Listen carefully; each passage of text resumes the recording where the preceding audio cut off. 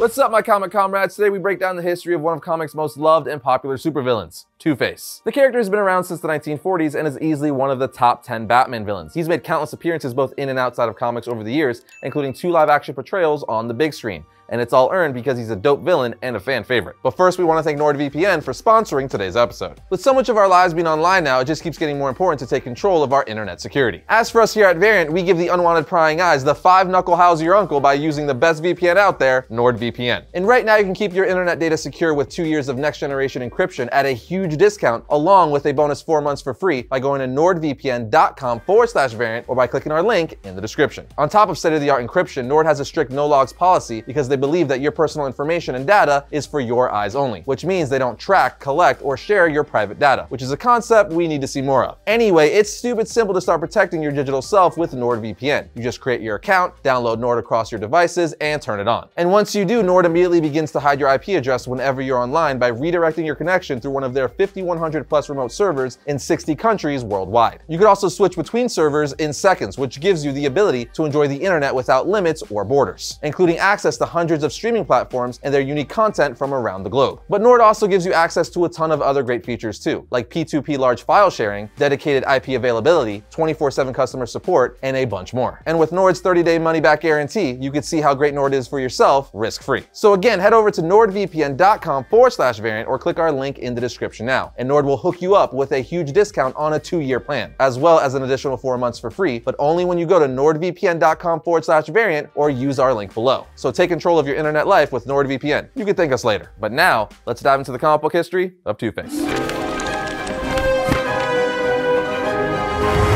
Two-Face first appeared in Detective Comics issue 66 in August of 1942. He was created by Bill Finger and Bob Kane. Something that mainstream media doesn't know is that Two-Face's real name, Harvey Dent, was originally Harvey Kent, but they soon changed the last name to Dent as they realized Kent was the same last name as Superman's alter ego Clark Kent and didn't want the confusion. Another little fun fact is that Finger and Kane took inspiration from Dr. Jekyll and Mr. Hyde. So much so that on the first page of his first appearance, Bob Kane drew him reading a Dr. Jekyll and Mr. Hyde novel with dialogue from Finger saying, Meet the most bizarre criminal of all time, a 20th century Jekyll Hyde in The Crimes of Two-Face. But with those little insights to his real-world creation, let's take a look at his comic origin.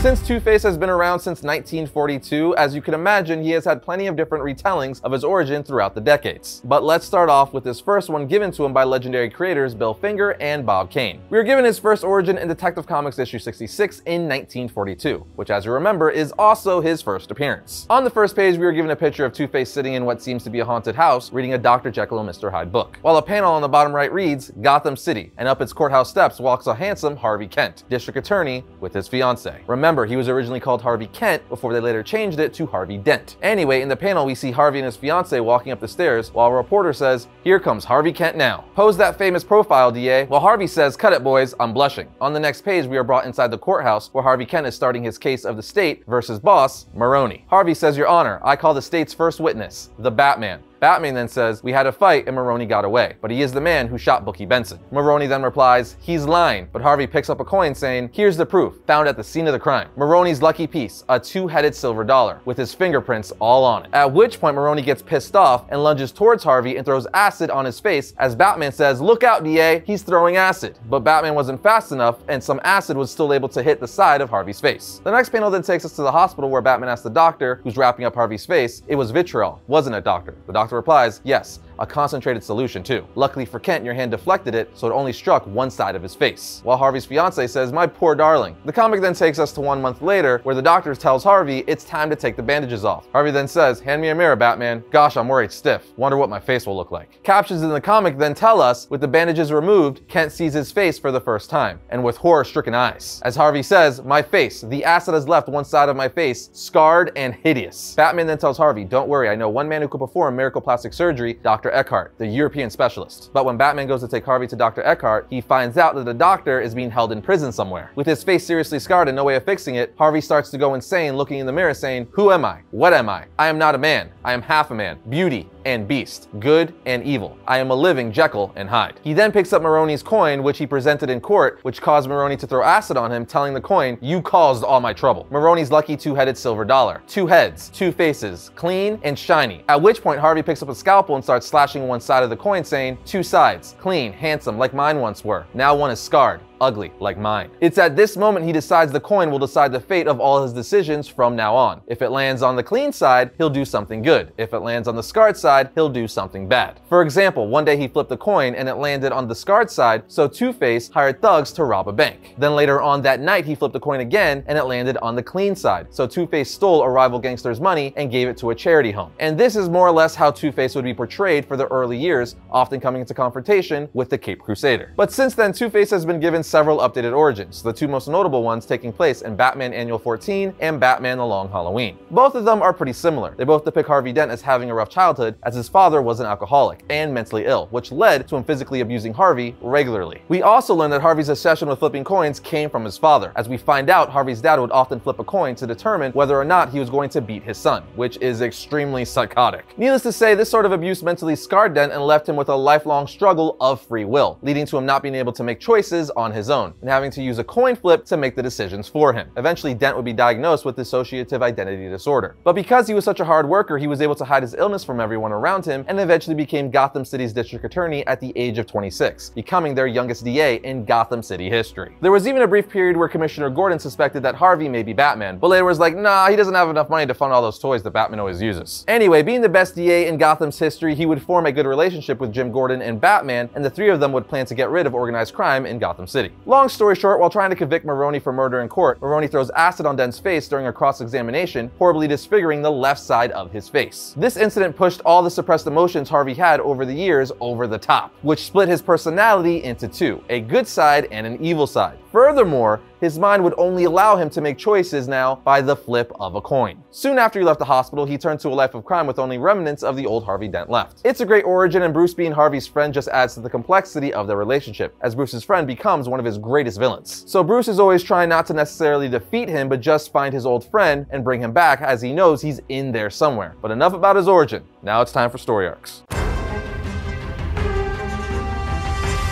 Let's talk about a few of the best Two-Face story arcs ever. First and foremost, we have the Eye of the Beholder, which takes place in Batman Annual 14. We actually just went over it in the origin segment, as this is the definitive modern origin for Two-Face. Even The Long Halloween took inspiration from this series, which is why the origin given in this and The Long Halloween are almost identical. Clearly they're not, but for the most part, they share all the major components. The story is just brilliantly told by Andrew Helfer, as it literally deconstructs Harvey Dent, the greatest district attorney that Gotham has ever had. I mean, the guy literally worked with Jim Gordon and Batman to take down crime. The comic shows us how someone of that caliber, Gotham's White Knight, like that Nolan Batman reference, can turn into a psychopath becoming one of Batman's greatest enemies. Again, it's just brilliant and we even learn about his childhood and all the suppressed emotions he was carrying that people didn't know about. This leads us to another fantastic Two-Face story and one of the greatest Batman stories of all time, The Long Halloween, which recently just got a two-part animated movie. The comic story also serves as inspiration for Nolan's Two-Face, portrayed by Aaron Eckhart in The Dark Knight. If you haven't read the comic series or watched the two-part animated movie, get on that. The story follows a bunch of murders that are happening within crime families by the mysterious holiday killer. And just like in Batman Annual 14, the Eye of the Beholder storyline, Gordon Dent and Batman work together, this time to try to stop the holiday killer before he commits his next murder. And they need to stop it quickly because the holiday killer's murders are only making the blood feud between the two biggest crime families in Gotham, the Falcones and Maronis,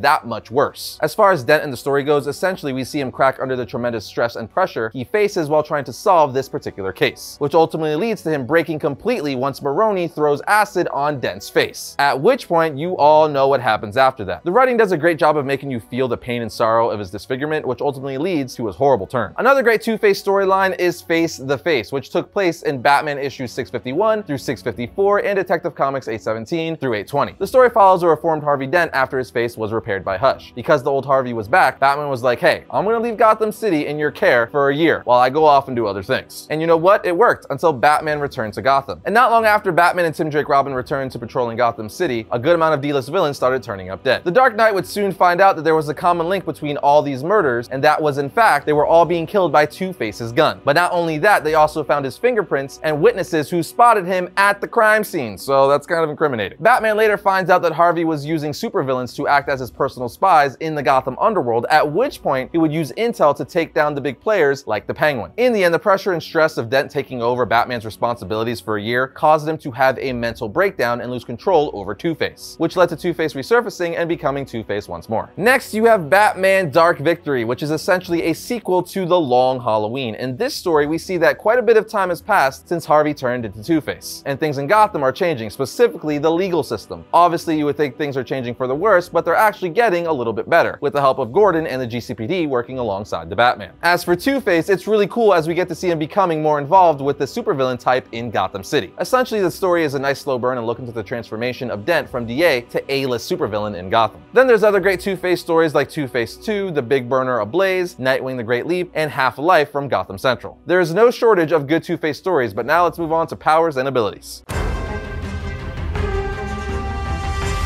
Now, this is going to be relatively straightforward because Two-Face has no superpowers, yet he's still one of Batman's greatest and most dangerous villains, and that's because Two-Face is a criminal mastermind. As an expert in law having extensive knowledge in criminal justice, Two-Face knows how villains and people think, so he often uses this to his advantage to come up with cunning plans to achieve his goals. But besides that, he's a former district attorney who worked with the Commissioner of Police and Batman, meaning he's one of Gotham's greatest detectives, and has even outsmarted Batman from time to time. Besides that, Two-Face is a trained fighter and was trained in hand-to-hand -hand combat by Batman in the events of DC's 52. Case and point, he was once able to defeat Killer Croc, which is insane because Killer Croc is superpowered. He's also a great marksman because he received training from Deathstroke. Overall, he's one of Gotham's most respected and feared supervillains. Widely considered the number one mobster type Batman villain, which says a lot because there's no shortage of them. But now let's move on to reading recommendations. Check out Detective Comics issue 66, Batman Annual 14, Nightwing The Great Leap and Nightwing issues 147 through 153, Batman The Long Halloween, Batman Dark Victory, and Faces from Batman Legends of the Dark Knight, issue 28. That should be enough to get you all started. And that's gonna bring today's episode of Variant to a close, but if you like today's video, be sure to check out this one right here. And if you like all of our content, be sure to subscribe, like, and comment. It always helps the channel out. But other than that, I'll see you guys next time when I talk about all things comics.